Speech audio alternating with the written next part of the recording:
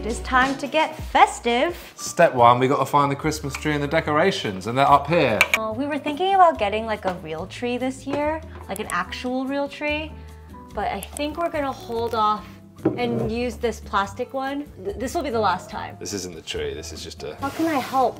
Hold it, you got it? Yeah. How do you- Reverse a little bit. wait, how do you want to do this? Reverse a tiny bit. What do you mean reverse? Go backwards. the opposite of forward. It just sounds fancy. All right, good job, babe. I'm doing one step at a time. Yeah, I know. Feels like it. Pivot. Pivot. bit. Pivot! Pivot! Lovely. So this tree needs to, Be demoted. Mm-hmm. Did you guys always put a Christmas tree up at Christmas? no. We started incorporating a Christmas tree, I think when I was like in high school, but I've never had like a real Christmas tree. What about mm. yourself? We had the same Christmas tree forever, I think. I don't think we ever changed it. So it probably lasted about 40 years. Oh my god. So when should we tell Lennon about Santa Claus? Or are we going to Oh, no. tell him about Santa Claus? Well, we, we have to go along with it, right? For a while, to some degree, because otherwise he's going to tell all his friends at school that my mummy and daddy said Santa's not real. Then their parents are going to be annoyed at us. Like this is probably one of the first universal lies we tell our children.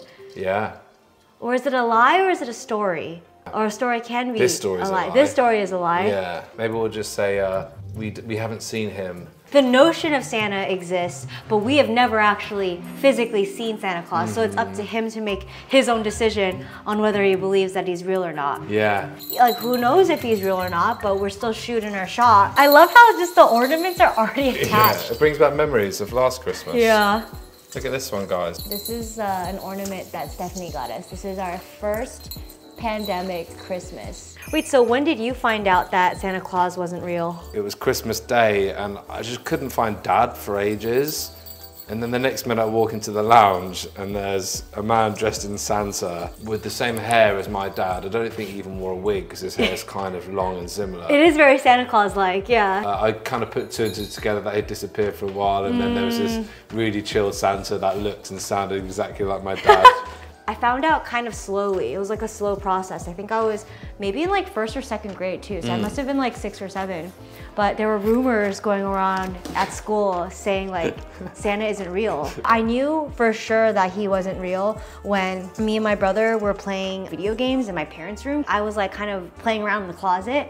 And in the closet, we had found all these gifts and we're like, ah. what? Like this is crazy. what do you most look forward to for Christmas? I think the food. Yeah, the me food, too. yeah. Yeah, me the too. food. I think it's just any excuse to just like eat in excessive amounts is just And this is the ultimate excuse because everyone else is doing it as well. exactly. Christmas dinner is my like last meal on earth, death row meal. I Mm. Really? Think. Yeah, with all the trimmings. What, what are your thoughts and feelings about gifting? Do you Um, find it therapeutic? Do you find it um, a fun chance to express your love for someone? My love language, I think gifts is probably one of the lowest. Yeah, me too. I think uh, stuff isn't as valuable as kind of the connection of Christmas and the family and coming together and like Gifts are still, I guess, uh, part of Mm, the love languages mm-hmm. for a reason. So, what is one of your favorite gifts to receive? My favorite gifts are experiences, like gifts Mm. that don't take up physical space, like like a dinner or um, a trip Yeah. or ice skating. You know, something. Yeah. Yeah. So it kind of fuses in quality time as well. I like the fact that the experience is what you look back and remember, don't you? You Yeah. don't remember the, the things. If you give me a gift that I use every single day, like my water bottle, I do think of you. When I'm like, oh yeah, Yeah. These are, this is the water bottle that Ben got me. Even a good book, I think, because the good thing about a good yeah. book is uh, you're not getting a book for Christmas, you're getting all the knowledge that comes with it. Yeah. So if that book was enlightening to you, then that friend gave you access to information that could change your life. That would be a good gift idea. Just like getting your friends books that you think that they Yeah. might like. oh, remember we put, oh, there's one of the tinsel things at the bottom here. Oh, We, maybe uh, we should buy a skirt. Like a skirt? skirt for the tree. Does this look better though? What, this skirt thing? Yeah. I don't know, does it look worse? I think you should just continue. We'll, we'll evaluate once it's done. Actually, it's kind of cute. Oh, this looks really nice. Wow. Honestly, do we even get a real tree next year? This is so solid. It's fantastic. It's freaking fantastic. Good job, babe. Lennon, what do you think?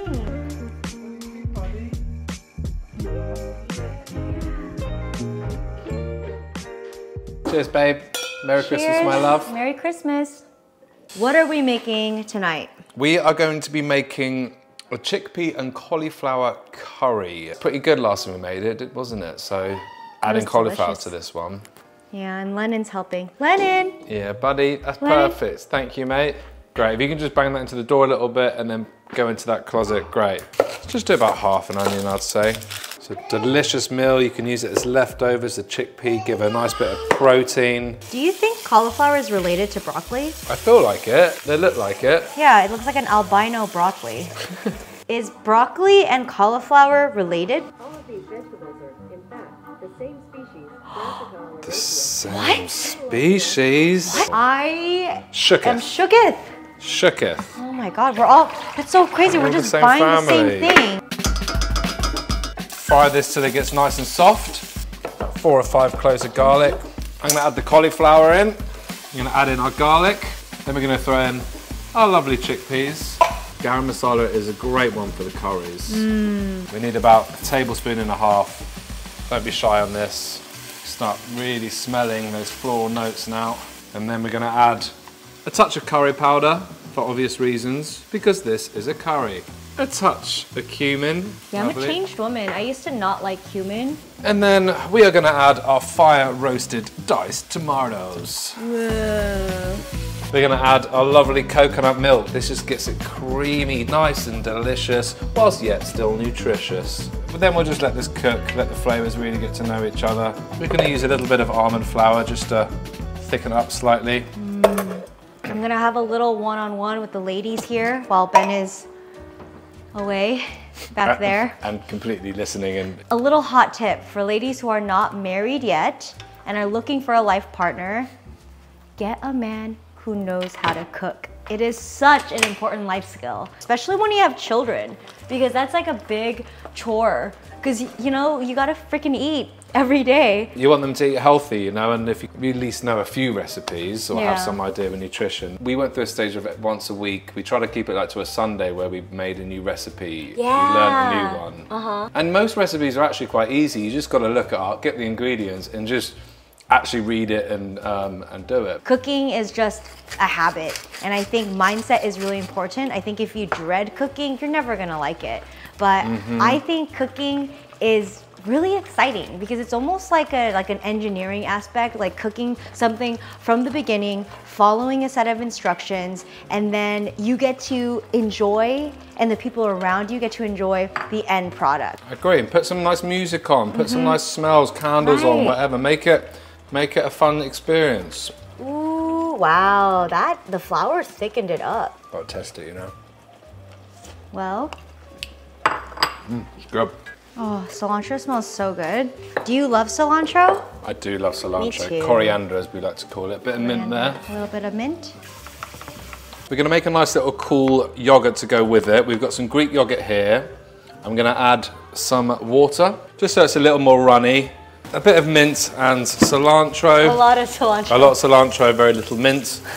bit of salt. Just nice small little bits of cucumber to go in there. What was your first recipe that you felt comfortable making? Uh, spaghetti bolognese. That's And so I made it- it's- fancy. like I think it actually started when I was like playing in bands when I was young, because I'd be the only one that could cook, so I'd make the food. feed the band. Feed the band? Were, were you the friend that cooked? One of them. One of them? One Who of was them. the other chef in that? Simon. Oh, yeah. Yeah. Simon's a great cook. Yeah, Yeah. he's a very good cook. Okay, let me do a little taste test of the curry. Wow. It's Not bad, so good. This is a lot of rice for a baby. Well, not for Lennon, but he loves I know rice. he loves rice. There we go, Lennon. Wow, buddy. There we go. Does he want a little yogurt drizzle? Oh yeah. Yeah. Bit of cilantro for buddy. Yeah. Not too much. He gets very freaked out Yeah, by he doesn't like too much green.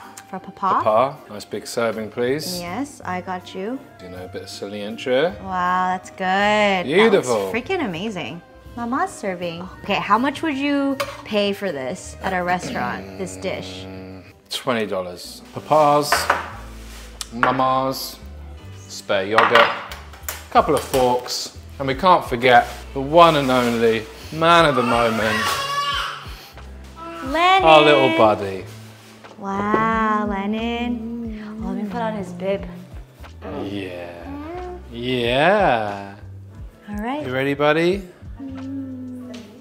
Bye. Hasta hasta mañana, mañana. mama. Thank you. Come here, give me a cuddle. You go. I know, I need a hug too. Thank you. You did Need a kiss? Very good. very good. Oh, you want your food, huh? You want your food. All right, buddy. Let us know what you think. It's like what you had the other day, a nice chickpea curry. You've also got cauliflower straight to the rice. Straight to Straight the to the plain rice. Merry Christmas. Merry Christmas. Merry Christmas, buddy. Merry Christmas, buddy. Hmm. Feels like Christmas now. It we really did it, babe. does. Wow. Just We did a lot. We set up all the Christmas decorations. yeah. Made a lovely meal for Buddy Mm-hmm. And for us. and for us. I actually like the simplicity of our decorations. You don't like it? Uh, actually, This is go. unreal. nothing to do with Google or me. The ingredients, the love. That's it. You got to put you got to put love into cooking. Mm-hmm. If, you, if it's a chore and you have to cook, it's like anything. If you go into anything that you have to do and you don't want to do it, Mm. you're never going to do it as well. Mm-hmm. You can tell when someone enjoys what they do. What do you think? It's good, huh? So Lennon is 15 months now.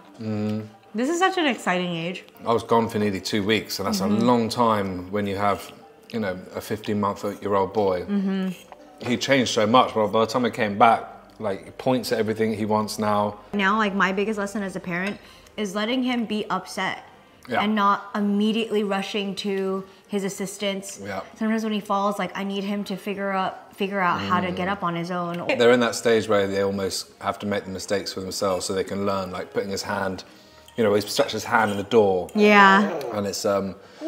But then you know the first seven years of a baby's life, they're in that theta brainwave. They're just absorbing everything for better or worse. I think the fact that we understand some of that stuff has made us more conscious to be our best selves around him. Try and Right. program him with like you know love and support, and you know those little things. Yeah, if he falls over and we freak out, he's going to associate something like that to a negative trigger. So uh, Right. even when he falls over, we're like, oh, it's okay, you know. Yeah. So I think like ultimately like we, we're kind of um like the ultimate influencer for him. When you become a parent, you are a role model. Yeah, And the you're role babe- model. You're the role It's model not a for your problem. parents. Yeah. I don't know. It just like inspires me to be the best version of myself, Yeah. and I just feel so grateful that you're in the same, like you feel the same way. Yeah. All right, so it's 7:45 p.m. Baby's asleep, so I am about to tackle a task that I've been putting off for several, several months. In this basket, we have all of Lennon's clothing and accessories that he has grown out of. This makes me feel some type of way because it's just like a physical reminder that time is progressing and my son is growing up before our eyes. Right now we're gonna sort through it and I'm going to create a nice little gift bag for one of my friends who had a daughter. Um, she is, I think she's gonna be like three months. So she's looking for some gently used hand-me-downs. I love this cycle. I think if I ever have a second baby, I'm gonna go the hand-me-down route. I'm just gonna, now, now I know exactly what I need. I think I'm gonna do like a renewed baby essentials because now I know things that I only know because of hindsight. Now that we are 15 months deep, I feel like I've just really relaxed into motherhood. I'm not like frantically searching about every little thing on Reddit or any forums or any apps. Like I'm just taking things as they come. And I think that is literally what parenting is. There is no instruction manual for parenthood because every child is extremely different.